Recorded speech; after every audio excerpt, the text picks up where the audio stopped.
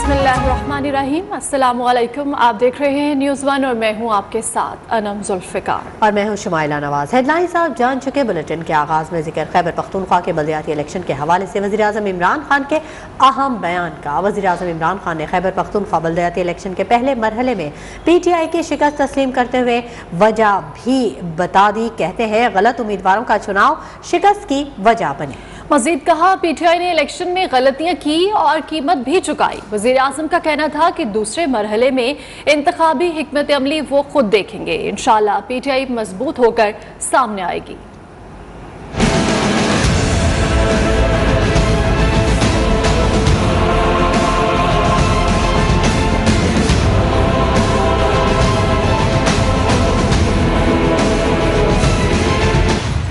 वज़ीर आज़म इमरान खान ने खैबर पख्तूनख्वा बल्दियाती इलेक्शन के पहले मरहले में पी टी आई की शिकस्त तस्लीम कर ली। वजह भी बता दी। कहते हैं, बल्दियाती इंतबात में गलत उम्मीदवारों का चुनाव शिकस्त की वजह बनी। एक ट्वीट में वज़ीर आज़म का कहना था की पी टी आई ने के पी इलेक्शन के पहले मरहले में गलतियाँ और उसकी कीमत चुकाई। वज़ीर आज़म ने अजम का इजहार किया की खैबर पख्तूनख्वा में बल्दियाती इंतबात के दूसरे मरहले और पाकिस्तान भर में बल्दियाती इंतबात के लिए इंतबी हमत अमली को वो खुद देखेंगे। इनशाला पी टी आई मज़बूत होकर सामने आएगी।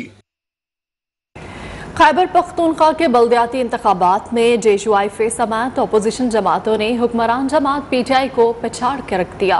सिटी में की चार नशस्तों में से तीन पर जमीयत इस्लाम जीत गई, जबकि एक नशस्त पर ए एन पी की कामयाबी रही।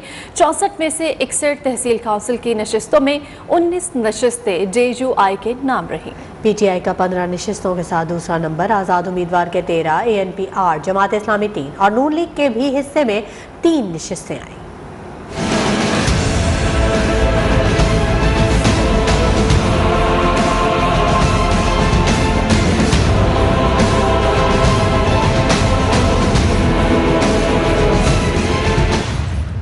खैबर पख्तूनख्वा के बलदियाती इंतबात में बल्ले का जादू न चल सका। पी टी आई को अपसेट शिकस्त जे यू आई फे ने मैदान मार लिया। पिशावर, कोहाट और बन्नू में जे यू आई फे के मेयर मुंतखब हो गए। मरदान में एनपी का मेयर मुंतखब हुआ। मेयर पिशावर के सबसे बड़े मुकाबले में जे यू आई एफ़ के जुबैर अली ने मैदान मार लिया। बनू सिटी मेयर की नशिश पर भी जे यू आई के उम्मीदवार इरफान उल्ला दुरानी कामयाब करार पाए। कोहार सिटी में जे यू आई के शेर जमान सिटी काउंसिल से मेयर मुंतखब हो गए। एन पी के अल्लाह मार यार मरदान सिटी काउंसिल के मेयर मुंतखब हो गए। खैबर पख्तूनख्वा के बल्दियाती इंतबात में पी टी आई को बदतरीन शिकस्त का सामना करना पड़ा। बड़े बड़े बुर्ज उलट गए। स्पीकर, कौमी असम्बली, असद कैसर समेत विफाकी वज़ीर उमर आजूब शहरियार आफरीदी और अली मोहम्मद भी अपने अपने हलकों में पार्टी को कामयाबी दिलाने में नाकाम रहे।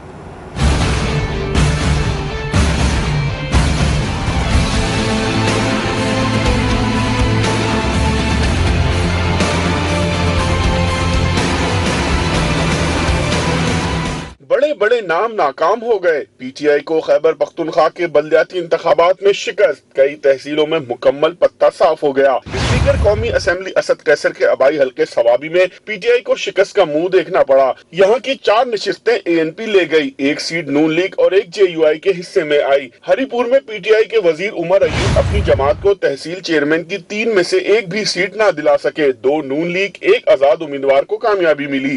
विफाकी वज़ीर शहरियार आफरीदी अपने शहर कोहाट में तहसील चेयरमैन की तीन में से सिर्फ़ एक निशिस्ती जितवा सके। दीगर दो तहसीलों में एक सीट जेयूआई और दूसरी आज़ाद उम्मीदवार के हिस्से में आई। यहाँ की मेयरशिप भी जेयूआई ले गई। विफाकी वज़ीर अली मोहम्मद खान के शहर मरदान में पीटीआई चारों तहसीलों में इंतखाब भी हार गई। यहाँ तीन निशिस्तों अब मुल्क में इलेक्शन चोरी करना मुश्किल हो गया। इलेक्शन चोरी करने वालों को आवाम जूते मारेंगे। सबक वजी अजम शाहिद खाकान अबासी की इस्लामाबाद में मीडिया से गुफ्तु नैब चेयरमैन को निशाने पर ले लिया। कहा चेयरमैन नैब का भी जल्द एहतसाब होगा। वो बताएँ कितने सियासतदानों से रिकवरी हुई? अब इलेक्शन चोरी करना भी जरा मुश्किल होगी। क्योंकि लोग जूतियाँ मारेंगे जो चोरी करेंगे। कितने सियासतदान इसने कन्विक्ट किए। कितने सियासतदानों से रिकवरी हुई है। चेयरमैन नैब साहब, आपको कल इन बातों का जवाब देना पड़ेगा। जो वज़ीर ये समझता है कि उसकी वजारत में कोई खराबी हुई है, कोई करप्शन हुई है, दरख्वास्त गुजार बने नैब को भेजे कंप्लेंट मेरी मिनिस्ट्री में ये खराबी हुई है, ये करप्शन हुई है। और जब वक्त आएगा तो हम दरख्वास्त गुजार बनेंगे, ये मैं आज आपको बता रहा हूँ। के पी आवाम ने इमरान न्याजी की हुकूमत को मुस्तरद कर दिया। पी टी आई को होम ग्राउंड पर बदतरीन शिकस्त हुई। रहनुमा नून लीग एहसन इकबाल के इस्लामाबाद में मीडिया से गुफ्तगु कहा इमरान खान ने के पी में पी टी आई की शिकस्त का नोटिस ले लिया है। खैबर पख्तूनख्वा में पी टी एम की जमातों पर अतमाद का इजहार करके इमरान न्याजी की सियासत को मुस्तरद कर दिया है। इमरान न्याजी साहब ने खैबर पख्तूनख्वा में पीटीआई की शिकस्त का नोटिस ले लिया है। इस्लामी वजर खारजा का इजलास इस्लामाबाद में हुआ, लेकिन जितना ज़रूरी अफ़गानिस्तान का मसला है, उतना ही ज़रूरी पाकिस्तान की शहर कश्मीर का मसला भी था। कश्मीर की हमायत में करारदाद मंजूर कराने में नाकाम हो गई। ये हुकूमत सफारतकारी में नाकाम हो चुकी है। ये वज़ीर आज़म सिर्फ़ तकरीरें कर सकता है। पीटीआई का केपी बल्दियाती इंतबात में जनाजा निकल गया है। आवाम ने वोट की ताकत से बदला ले लिया। वज़ीर इतलात सिंध सईद गनी की कराची में मीडिया से गुफ्त उन्होंने कहा कि के पी में पी टी आई का ये हशर हुआ तो सोचें दीगर सूबों में क्या होगा? पी टी आई का जो जनाजा निकला है खैबर पख्तूनख्वा से वो मैं समझता हूँ कि बहुत इबरतनाक एक मिसाल है कि अगर आप आवाम के ऊपर महँगाई के पहाड़ तोड़ेंगे अगर आप आवाम को बेवकूफ़ समझते हुए उनके साथ ऐसी ज्यादती करेंगे जो बर्दाश्त नहीं कर सकते हैं तो लोगों के पास जो वोट की ताकत है, उसके ज़रिए वो आपसे बदला लेते हैं। सूबा सिंध के बल्दियाती इलेक्शन में क्या होगा, पंजाब के बल्दियाती इलेक्शन में क्या होगा, और बलोचिस्तान के बल्दियाती इलेक्शन में क्या होगा? बिजली की कीमतें फिर बढ़ाने की बात हो रही है, इस वक्त मुसीबत टूटी हुई है। गैस के बहरान की वजह से उसको आप सब भुगत रहे होंगे, और एम जो है इस पर बात नहीं कर रही है। खबरें और भी हैं, शामिल करेंगे इस ब्रेक के बाद। हमारे साथ रहिएगा। को आगे बढ़ाते हैं। आपको बताएँ, मारूफ, माहिर अमराज खून, डॉक्टर ताहिर शमसी कराची में रजा इलाही से इंतकाल कर गए। ब्रेन हेमरेज के बाद उनको कराची के निजी अस्पताल में दाखिल करवाया गया था, जहाँ गुजशत जमेरात से वो इंतहाई निगहदाश्त वार्ड में जेर इलाज थे। उनको पीर के रोज वेंटिलेटर पर मुंतकिल कर दिया गया था। तहम वो आठ सुबह सात बजकर बीस मिनट पर खाल के हकीकी से जा मिले। अहल खाना के मुताबिक उनकी नमाज़ जनाजा बाद नमाज़ नजम मस्जिद टीपू सुल्तान रोड शहीद मिलत रोड में अदा की जाएगी। सदर ममलकत आरिफ अलवी ने डॉक्टर ताहिर शमसी के इंतकाल पर अफसोस का इजहार करते हुए उनकी खदमात को खराज अकीदत पेश किया है। सदर ममलकत का कहना था, मरहूम ने तिब तहकीक के शोबे में नुमाया खदमात सर अंजाम दी हैं। बोन, मैरो ट्रांसप्लांट और सर के इलाज की खदमात याद रखी जाएँगी।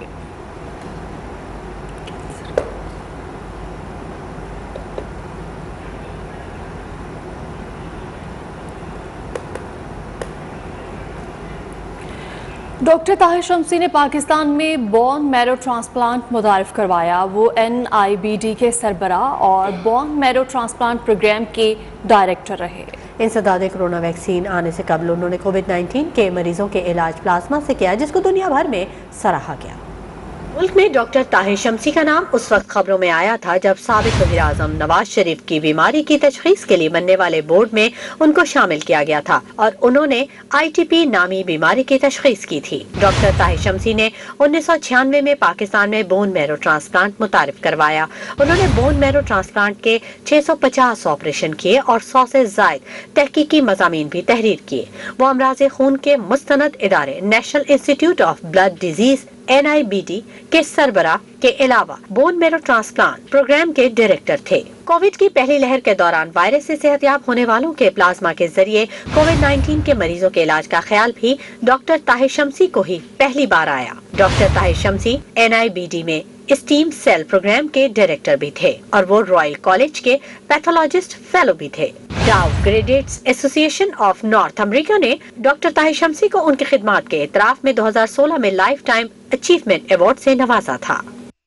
खबरों का सिलसिला जारी रहेगा। वक्त हो गया एक ब्रेक का। हमारे साथ रहिए। आपको बताएँ कि मरियम नवाज़ इस वक्त अदालत पहुँच चुकी हैं और इस अहम मौके पर वहाँ पर सिक्योरिटी के सख्त इंतज़ाम किए गए हैं। मनाजिर, आप अपने टेलीविज़न स्क्रीन पर देख सकते हैं इस्लामाबाद के ये मनाजिर है। नायब सदर मुस्लिम लीग नून मरियम नवाज़ इस्लामाबाद हाई कोर्ट पहुँच चुके हैं। बड़ी तादाद में इस वक्त भी कारकुनान यहाँ पर मौजूद हैं। नून लीग के, जबकि रहनुमा भी मौजूद हैं। नायब सदर मुस्लिम लीग नून मरियम नवाज़ इस्लामाबाद हाई कोर्ट पहुँची हैं। आज समात के हवाले से वो यहाँ पर पहुँची हैं और इस अहम मौके पर इस्लामाबाद हाई कोर्ट के अतराफ में सिक्योरिटी के सख्त इंतज़ाम किए गए हैं। हाई अलर्ट है इस्लामाबाद हाई कोर्ट के अतराफ में बड़ी तादाद में अहलकार तैनात है।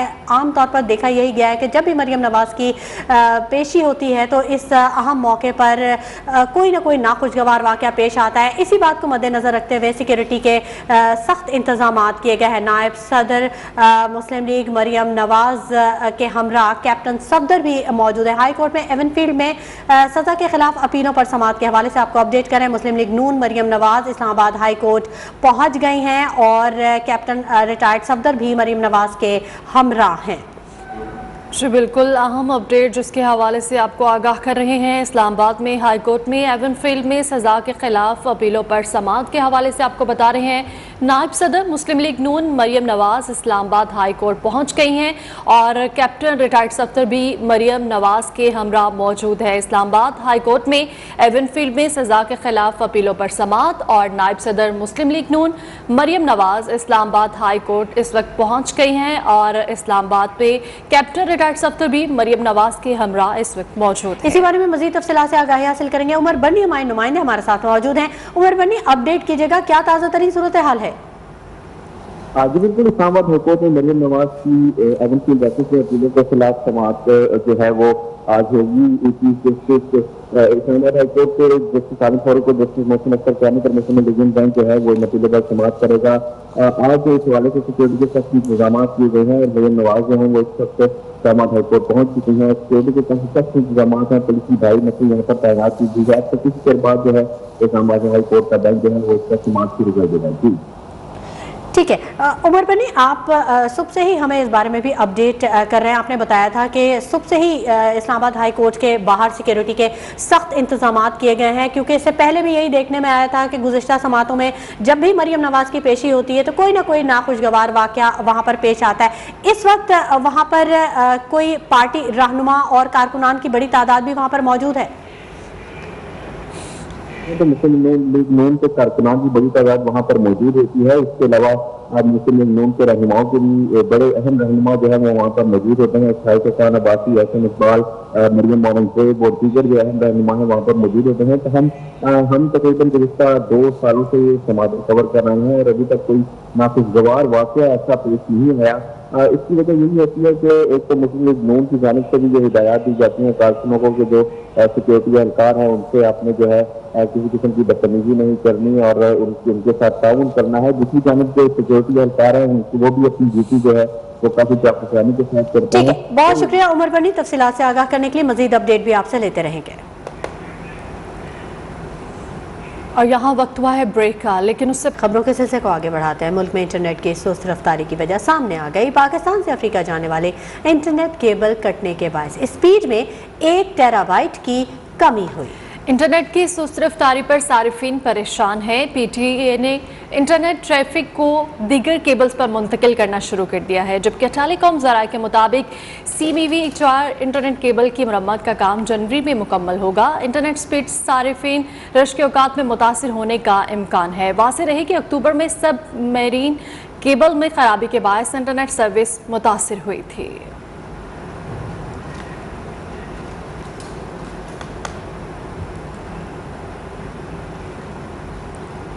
खबर शामिल करेंगे खेलों के मैदान से। कराची में जारी काद आज़म ट्रॉफी के मैच के दौरान कौमी टेस्ट क्रिकेटर आबिद अली के सीने में तकलीफ़ हुई। क्रिकेटर को निजी अस्पताल मुंतकिल कर दिया गया। टेस्ट ओपनर आबिद अली को दौरान मैच सीने और बाएँ कंधे में दर्द हुआ। मजीद तफसलत जानेंगे। हमारे नुमाइंदे हमारे साथ मौजूद हैं बदुजमा बदुजमा अपडेट कीजिएगा क्या मजीद तफसीत हैं? आप बिल्कुल जी क्रिकेटर आबिद अली जो है वो यूबीएल क्रिकेट ग्राउंड पर जो है सेंट्रल पंजाब और खैबर पख्तूनख्वा के खिलाफ जो मैच था उसमें बैटिंग कर रहे थे और उसी दौरान उनको जो है वो दाएँ कंधे में और सीने में दर्द की तकलीफ़ हुई। जिसके बाद फौरी तौर पर उनको जो है वो अस्पताल मुंतकिल कर दिया गया है और इस वक्त भी कराची के मुकामी अस्पताल में जो है उनके टेस्ट लिए जा रहे हैं ताकि देखा जाए कि किस किस्म का ये दर्द था। लेकिन डॉक्टर के मुताबिक ऐसी कोई तशवीश वाली बात नहीं, लेकिन टेस्ट मुकम्मल जब टेस्ट हो जाएँगे, उसके बाद जो है उनको रिलीज़ किया जाएगा। और ये जो मैच जारी है कि उसका आखिरी दिन था और आबिद अली उस दौरान बैटिंग कर रहे थे तो उनको ये तकलीफ़ हुई थी। तो अब जब तमाम तरह रिपोर्ट आ जाएँगी उसके बाद जो है वो देखा जाएगा कि आया उसको किस किस्म की, किस नीयत का ये दर्द हुआ है। और फिर उसके बाद जो है उनके बारे में फैसला किया जाएगा कि आइंदा के मैचेस में वो कब तक जो है, वो शिरकत नहीं कर सकते। जी। ठीक है, बहुत शुक्रिया बदर समा।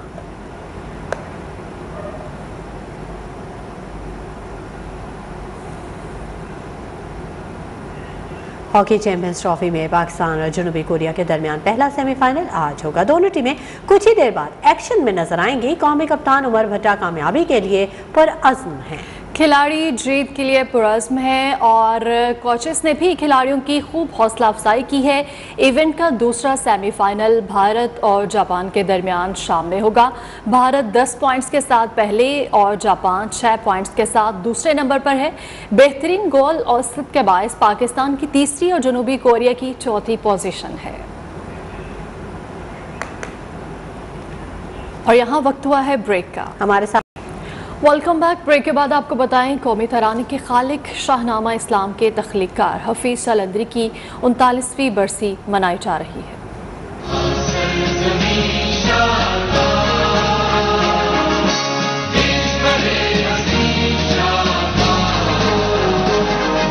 हफीज जलंधरी 14 जनवरी 1900 को जलंधर में पैदा हुए। क़याम पाकिस्तान के बाद पाकिस्तान में मुस्तकिल सकूनत इख्तियार की। वो पाक फौज में डायरेक्टर जनरल मोराल, सदर पाकिस्तान के चीफ एडवाइजर और रॉयटर्स की गिल्ड के डायरेक्टर भी रहे। में लगी रहती थी। मेरे वालिद कुरान करीम के हाफिज थे और हमारा घराना दरअसल हिंदुओं राजपूतों से मुसलमान हुआ था और वो जो नए नए मुसलमान होते हैं, उनको दीन का बड़ा जोश होता है। वो अपना सबसे बड़ा कारनामा शाहनामा इस्लाम समझते थे, जो चार जिल्दों में शाये हुआ, जिस पर उन्हें फिरदौसी इस्लाम का खिताब भी दिया गया। हफीज जलंधरी के शहरी मजमुओं में नकमाबा तलखाबा शीरी और सोजो सास अफसानों का मजमुआ हिफ्त पेकर, गीतों के मजमु हिंदुस्तान, हमारा फूल माली और बच्चों की नजमें, और अपने मौजू पर एक मुनफरद किताब चूंटी नामा काबिल ज़िक्र है। उनको गीतों का बादशाह कहा जाता था, गज़ल भी ऐसी कही की जिसके लफ्ज कभी बूढ़े नहीं हो सकते।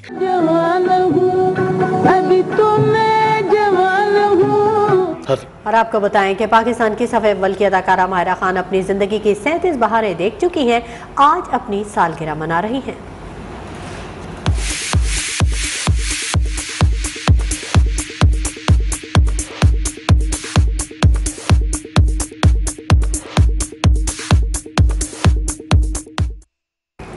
इसी के साथ ही न्यूज़ स्टूडियो से फिल वक्त इतना ही। मजीद खबरों और अपडेट्स के लिए विज़िट कीजिए हमारी website News One dot News One के साथ